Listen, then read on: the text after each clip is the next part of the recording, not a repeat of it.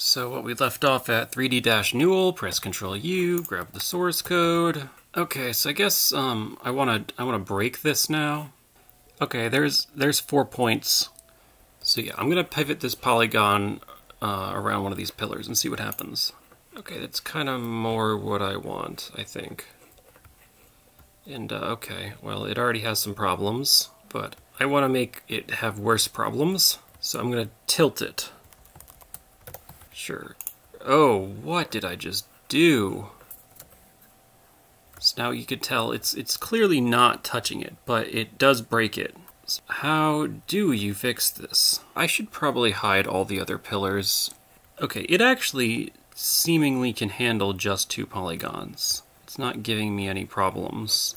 Oh, Okay, well, I guess what's happening is that we're looking at this point and this point, and we're comparing it against the plane, and we're seeing, oh, those points are farther away. This point is behind us, so it's actually just in the other direction, so we don't consider it. And same with this point right down here. That's in the other direction down here, and that we don't consider. So the only points that we're considering are over here. For that reason, it thinks the blue plane is on top. When you're like here, these points are in the same direction, and when you look at them, they'll eventually hit the plane of blue.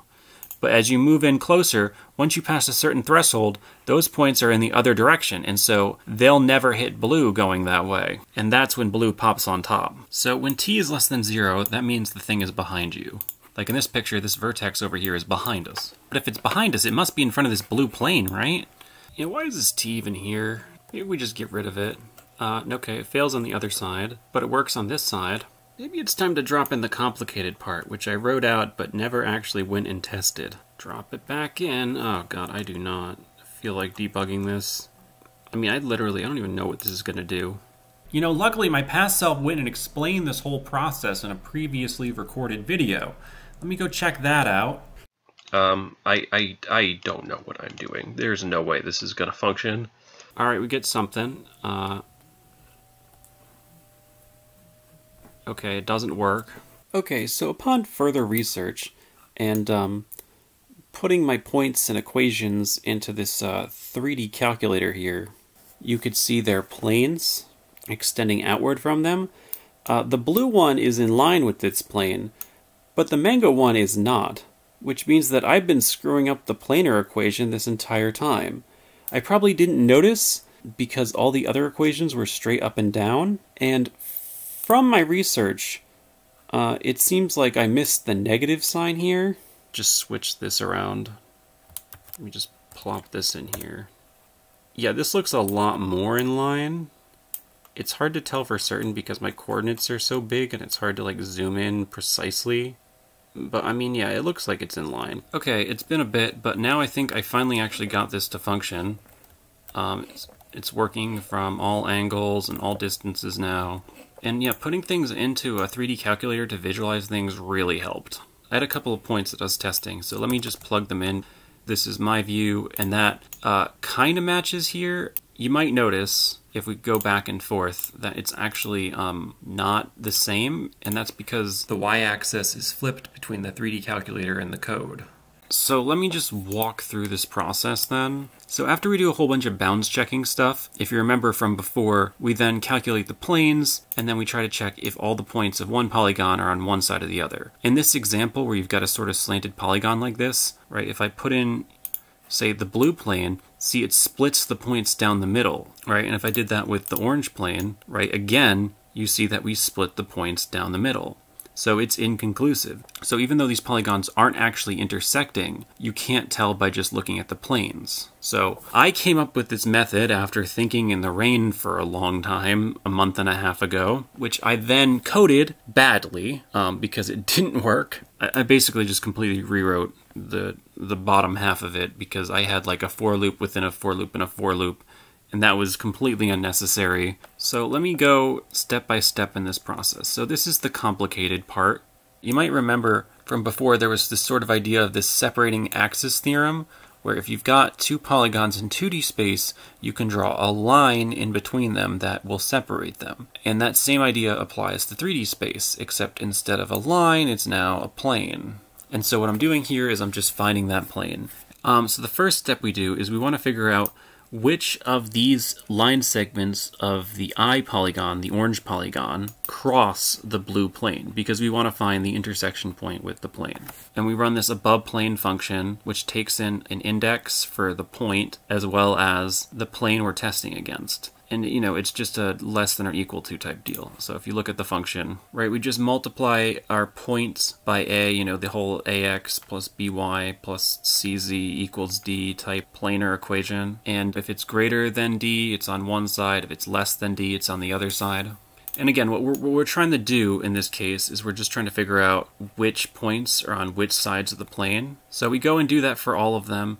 If we go and look at the point check array over here, you can see that it goes true, false, false, true, which makes sense because if you go and look at the lines over here, starting from I0, you kind of go, this would be true, false, false, these are on the same side, and then back to true again. Then we're just initializing some stuff that we'll use later, and now we're looping through to look at each of these line segments. This line of code checks to see when two consecutive points are on opposite sides of the plane. And so the first thing we have is true, and then we have false. Those are on opposite sides of the plane, so we enter in. Then we find a vector which represents the line from 0 to 1 here. Then this line finds the t that you use in a parametric equation, basically the rate of change.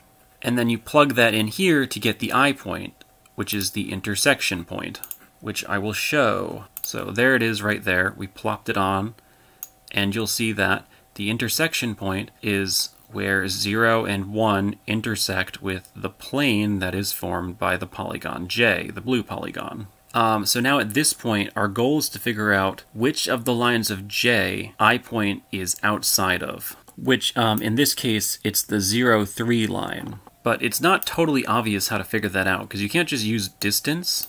So if I enable these planes, it forms a sort of infinitely extending box where each plane extends outwardly from each of the lines of the J polygon. And we're going to check to see if I point is on either side of each of these lines. And for only one of these, um, though potentially two if it was in one of the corners, will it be on the outside of the plane because all the other ones would be inside.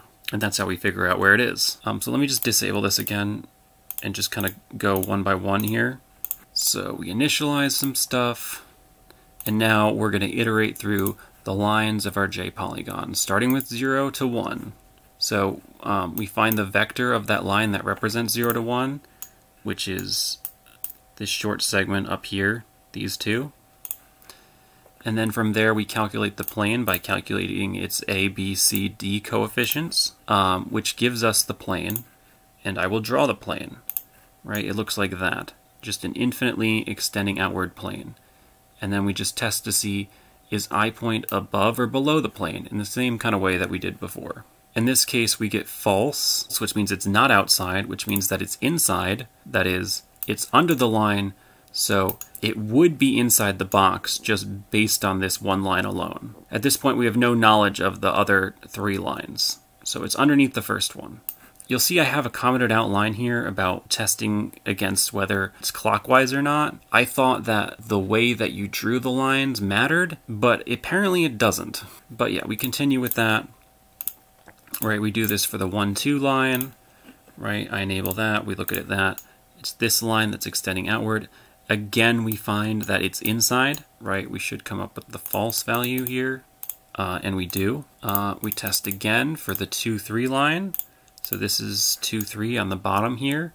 Again, it's inside those regions. Pretend that the 0, 3 line didn't exist.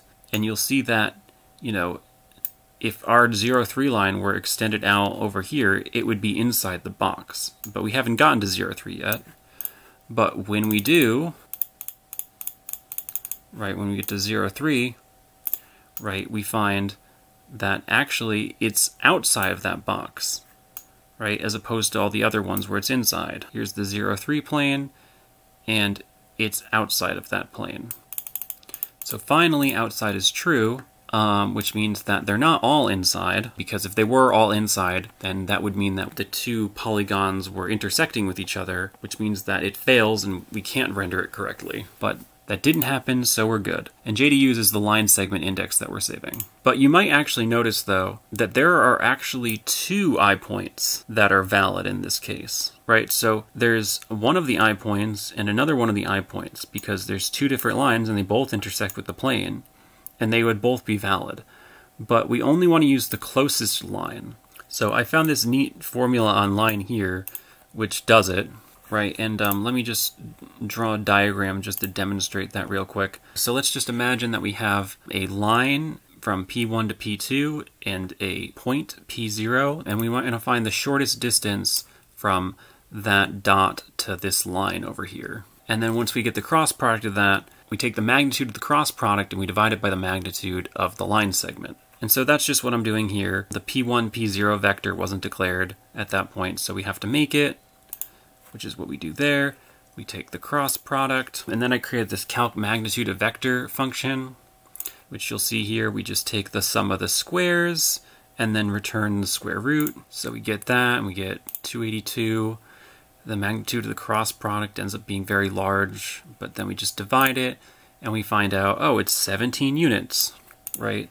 Which um, seems about right because you'll see like the scale on the side here and that's like really close to it, but the scale on the outside is like in the hundreds, so you can imagine that being about 17, the distance between I point and this line. So we go and remember that value for later. Now let's go and find the separating plane. And the way that I make this separating plane is that we take the line segment that I point lies on, which here is I0 to I1, and we take the closest line segment of J, which is J0 to J3, and we take the cross product of those two to get a plane. Right, so this is what this is doing here. We're getting the cross product. So this is our plane, the green thing. And you'll see that this plane runs parallel to the 0, 1 line of the orange polygon, but that it also runs parallel to the 0, 3 line of the J polygon. And by doing that, we're able to put each of the polygons on either side of the plane. But at this point, we don't know whether the player is on the same side of the plane as the orange I polygon. So that's what we're going to try and figure out.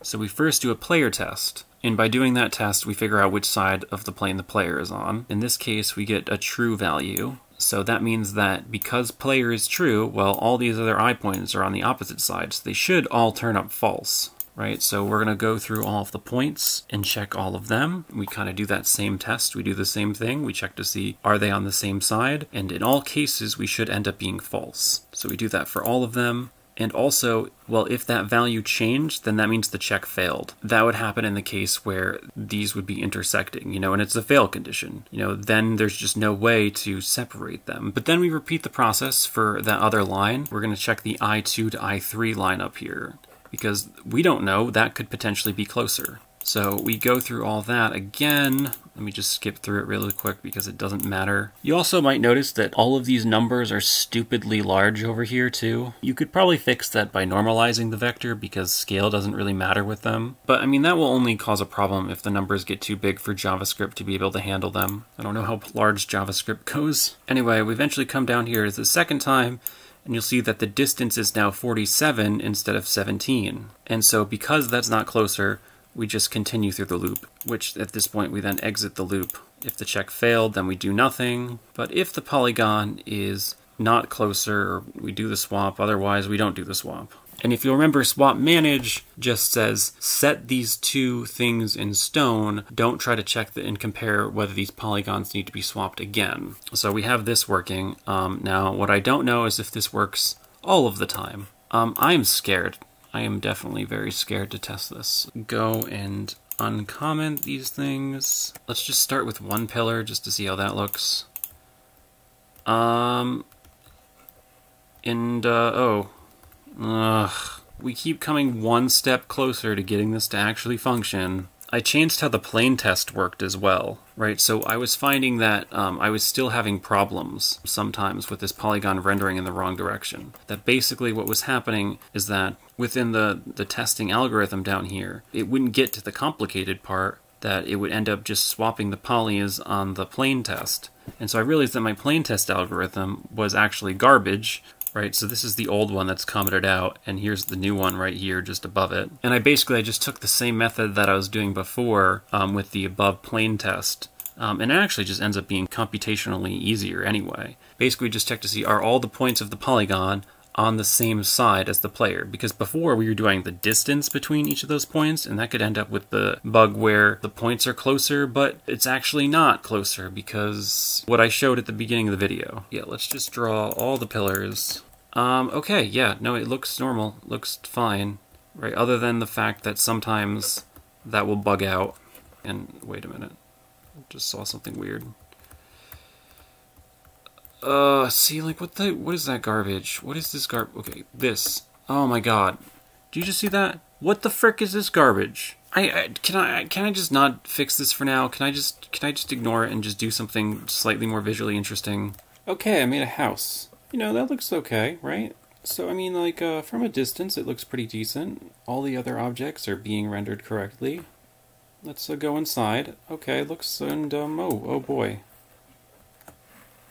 yeah, um, so you know, it's um, it's a little buggy. Obviously, the walls have no collision. Uh, yeah, this this is not acceptable. This this has to be fixed. Uh,